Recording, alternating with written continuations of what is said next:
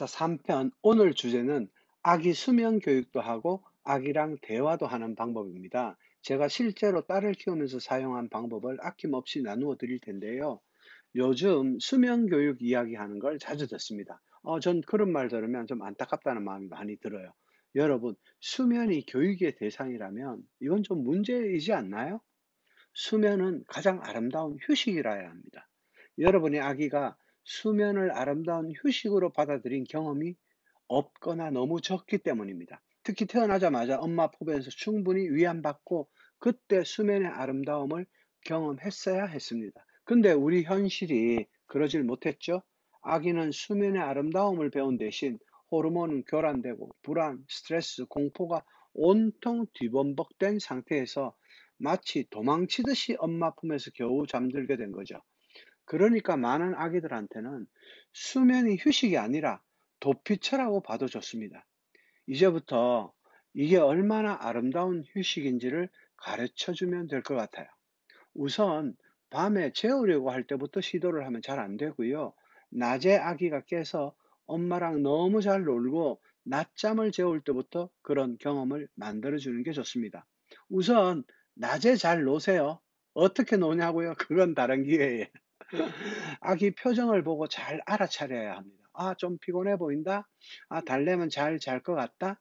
아기 스스로 수면을 받아들이려면 아기는 엄마 얼굴을 본 상태에서 잠이 들어야겠죠? 그래야 주도적으로 자기가 잠을 자는 거잖아요.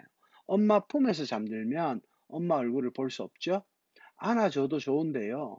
최종적으로는 엄마 품에서 잠이 들면 안 됩니다. 최종적으로는 엄마 얼굴을 본체 잠이 들어야 합니다. 저는 아기를 안고 있던 바닥에 눕히건 아기하고의 놀이를 가장 중요하다고 생각합니다. 정말 애랑 놀 때는 전 올린합니다. 놀이에 몰입되어 있지 않으면 엄마 품을 떠나는 순간 불안해지거든요. 그래서 육아에서 가장 중요한 게 바로 깨어 있을 때 잘 노는 거예요. 이게 잘 돼야 나머지 모든 문제가 해결되게 돼 있습니다.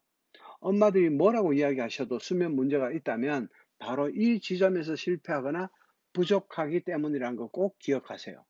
자, 이제 상상을 해보세요. 여러분이나 제가 아기랑 충분히 놀았어요. 애기 너무너무 잘 놀았어요. 눈 맞춤도 잘 됐습니다. 교감도 많이 했어요. 이제 낮잠을 재울 시간입니다. 살짝 바닥에 내려놓아 봅니다. 어, 아기가 웁니다.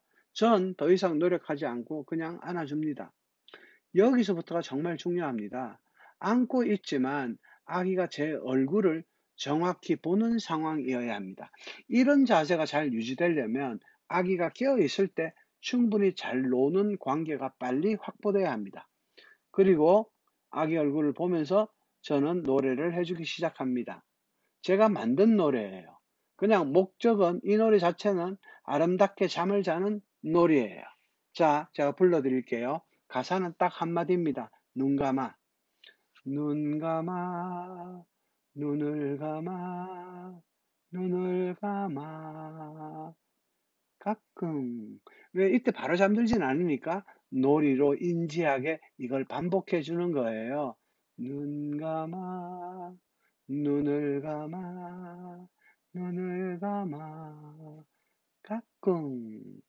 눈 감아, 눈을 감아, 눈을 감아 깎고 그리고 눈 감아 할 때마다 제 눈을 감습니다. 그러면 애기 눈에 아빠가 눈을 감았다가 떴다가 감았다 떴다가 계속 보이잖아요. 그러면 이게 놀이라고 인지합니다. 이런 놀이를 며칠간 지속하죠. 그럼 아기를 안고 있는 대신에 잽싸게 아기 반응이 좋을 때 잽싸게 바닥에 눕히고 아기 등을 손으로 싹 감싸면서 제 얼굴을 아기 가까이 가면 마치 아기를 안고 있는 듯한 효과를 얻을 수 있습니다. 그리고 계속해서 이 노래는 계속돼야 됩니다. 마주보고요. 눈 감아, 눈을 감아, 눈을 감아. 그러니까 놀이 반, 수면 유도 반이라고 보시면 될 것 같아요. 그래서 가장 중요한 게 아기와의 눈 맞춤입니다. 아기하고 나랑 상호작용이 되는 상태라야 이 모든 게 가능하다는 점을 꼭 명심하세요. 이제 시간이 시, 지나가면서 노래를 좀 더 천천히 합니다. 눈 감아, 눈을 감아, 눈을 감아. 더 작은 목소리로 물론 아기의 표정을 봐가면서 속도를 조절해야겠죠. 그럼 눈을 감아 가사에 아빠인 저도 눈 감고 졸린 표시를 보여주고 노래하면서 눈을 감았다 떴다를 여러 번 반복하다 보면 어느새 우리 아기가 눈을 감기 시작하고 마침내 눈 감아라는 노래를 들으면서 아빠 얼굴을 보다가 잠이 들게 되고 수면이 아름다운 휴식이란 걸 경험하게 되죠. 이런 관점에서의 수면 교육이라고 하면 뭐 저도 수면 교육에 동의합니다. 이 외에도 너무나 많은 방법들이 있는데요. 다음 기회에